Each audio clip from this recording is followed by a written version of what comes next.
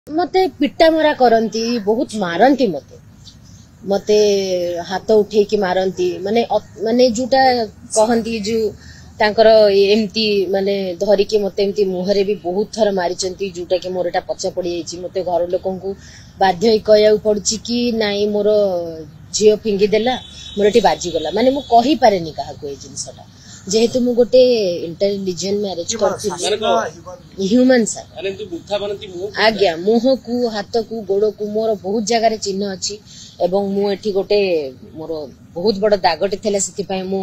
ଟାଟୁଟେ ମଧ୍ୟ କରିଦେଲି କି କେହି ନ ଜାଣନ୍ତୁ ବୋଲି କି ମୋ ସାଙ୍ଗରେ ଏମିତି କିଛି ହେଇଛି ବୋଲି କାରଣ ଥିଲା ସିଏ ଏକ୍ସଟ୍ରିମଲି ମଦ ପିଉଥିଲେ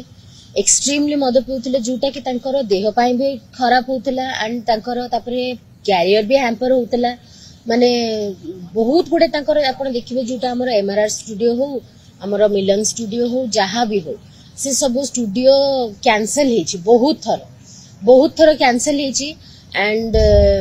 ମୁଁ ତାଙ୍କୁ କୁହେ କି ଦେଖ ତମର କ୍ୟାରିୟର ବି ହ୍ୟାମ୍ପର ହେଉଛି ଆଣ୍ଡ ତମର ଦେହ ବି ହ୍ୟାମ୍ପର ହେଉଛି ତେଣୁ ମୁଁ ତାଙ୍କୁ ମନା କରେ କି ତମେ ଏତେ ମଦ୍ୟପାନ କରନି ତମେ ଏତେ ମଦ ପିଅନି ଯଦି ନଉଛ ବି ତମେ ଗୋଟେ ଲିମିଟରେ ରଖ ଲୋକ ଏମିତି ସେଲିବ୍ରିଟି ମାନେ ହିଁ ସେମାନେ ମାନେ ତାଙ୍କର ପାର୍ଟିଜ ଅଲଗା ତାଙ୍କର ଗ୍ୟାଦରିଂ ଅଲଗା ତାଙ୍କର ସାଙ୍ଗସାଥି ଅଲଗା ମେଳ ଅଲଗା ସେଟା ଠିକ ଅଛି ବଟ୍ ନିଜର ଗୋଟେ ବି ଲିମିଟେସନ ରହିବା ଦରକାର କି ନିଜେ ମୁଁ ଗୋଟେ ଜାଣିବି ଯେ ମୁଁ ଏତେ ଲିମିଟରେ ନେଲେ ମୋ ଦେହ ପାଇଁ ବି ଠିକ ରହିବ ପ୍ଲସ୍ ମୋ କ୍ୟାରିୟର ପାଇଁ ବି ସେଟା ହ୍ୟାମ୍ପର କରିବ ନାହିଁ ସେ ଏତେ ମଦ ପିଅନ୍ତି ଏତେ ମଦ ପିଅନ୍ତି ତାପରେ ମୁଁ ଯେତେବେଳେ ସେ ଯୋଉ ଜାଗାରେ ମଦ ରଖନ୍ତି ମୁଁ ସେ ଜାଗାଟାକୁ ଚାବି ମାରିକି ଲୁଚେଇ ଦିଏ ଚାବିଟା ଲୁଚେଇ ଦିଏ ଯେତେବେଳେ ସେ ମୁଁ ତାଙ୍କୁ ଦିଏନି ସେ ମତେ ବହୁତ ମାରନ୍ତି ବାରଣ କଲାଠୁ ହିଁ ସେ ମତେ ମାରନ୍ତି